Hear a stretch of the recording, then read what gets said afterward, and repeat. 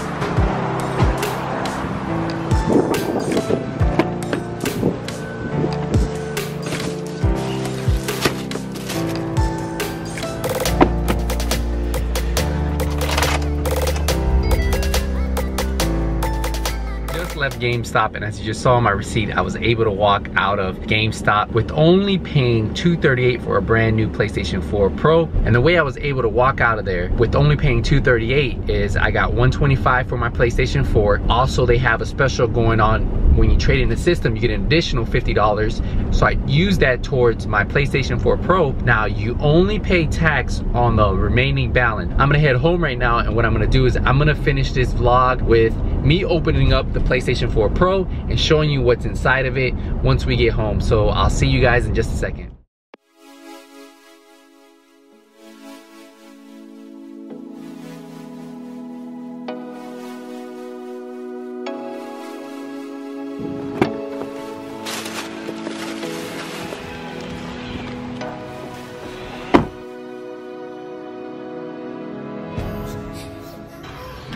So we're gonna open up this PlayStation 4 Pro and show you everything that's inside of it. I just got home, so I'm gonna need some help real quick. Let me put this to the side. See everything that comes inside of here. So when you first open the box, you get your safety guide. We're gonna open this up. So in this box, it looks like we have our power cord, the cable to connect our controller, I wonder what's in there, so let's open that up.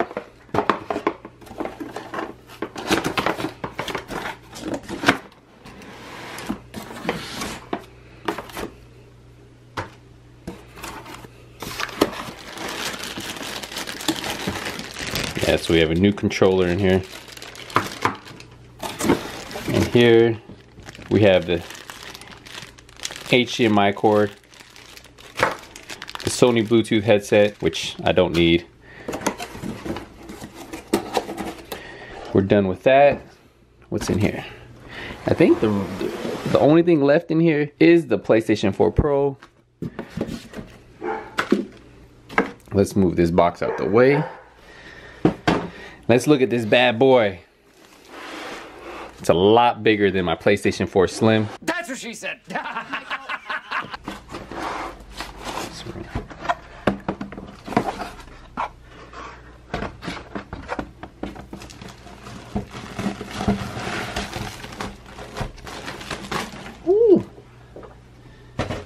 There you go. Look at that logo. So this is the PlayStation 4 Pro. If you've ever seen the smaller ones, it was a lot smaller. But this bad boy is very clean looking. This is the one terabyte. I believe that the PlayStation 4 Pro only comes in one terabyte.